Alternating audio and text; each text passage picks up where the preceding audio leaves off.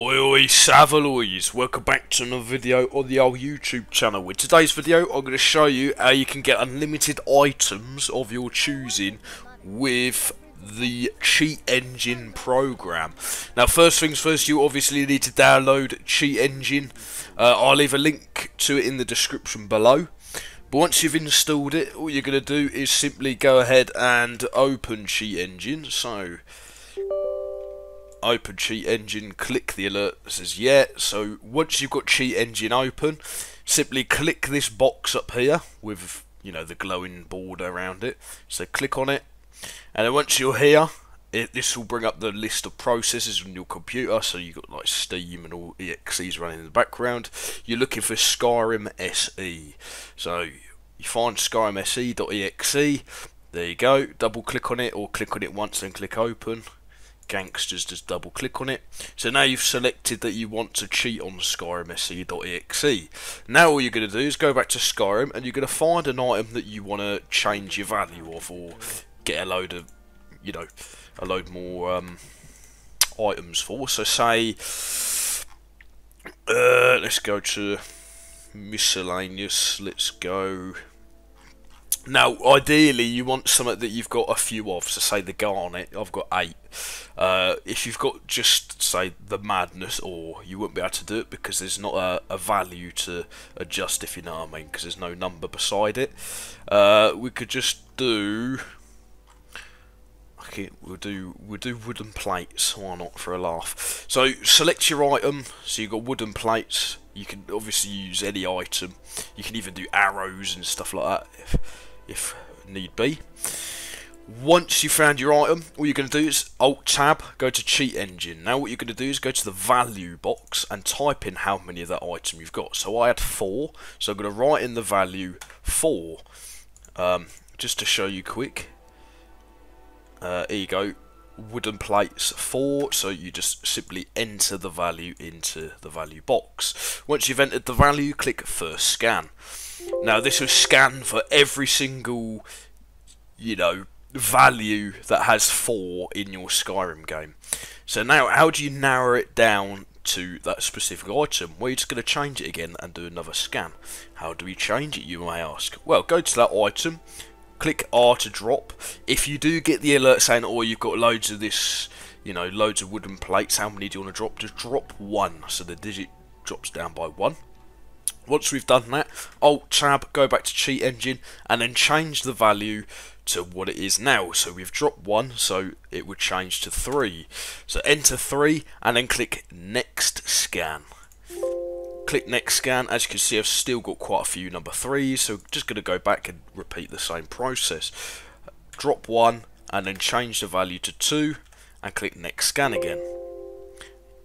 Now, as you can see, there are quite a few 2s. But what we're going to do, we're going to basically transfer all of these addresses into this big box here so we can adjust the value. So what we're going to do is just click on one address here and then once you've clicked it and highlighted it you're just going to click this red arrow to drag it down to this box.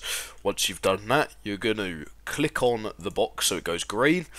You're then going to right click you're going to go to change record. You're then going to go over to value so you can adjust the value. Now as you can see the value is 2, so say I want 100 plates, change it to 100, click enter, so now when I go to pick up the plate I should then have a 100. So let's have a look. And I do. As you can see, 102 plates, which is quite insane, really. Uh, but like I say, you can do this with any item. Just if you're going to do it again, just click new scan, so it resets everything. Um, and then just click on this and then go to delete this record. Then you're good to go again. So I'll show you how to do it again. Nice and simple. So we go to inventory. We'll do it with some arrows this time. So we got uh, fire arrows. So we've got 44 of them. We're going to alt tab to cheat engine, put in 44. This is the first value. So we're going to do the first scan. First scan is give us all the addresses that contain the number 44 in. We're then going to go back to Skyrim. We're then going to drop an item. This is what I was on about you know, if you have too many items, it does say how many. So what you're going to do is just drag the cursor and just drop one. So it's now changed to 43. We're then going to go to 43 and then click next scan. And then just to be sure, we will do it again. Uh, just so it, it does narrow the addresses down, makes it a bit easier, a bit easier for us. So just drop another one and then do 42 and then next scan. So this should be the only digit where the only address containing the fire arrows. So you click on it once, so it's highlighted. You then click the arrow to drag it down to this box. You then click on it so it's green. You then right click the address.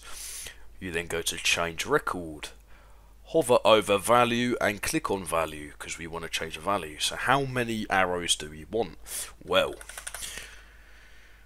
let's go a bit divvy, shall we? Should we go 9,000? enter the value of what you want. So I'm going from 42 to 9,000. You then go back, you then pick them up, and then it will adjust your value. Let's have a look. Let's see if it does.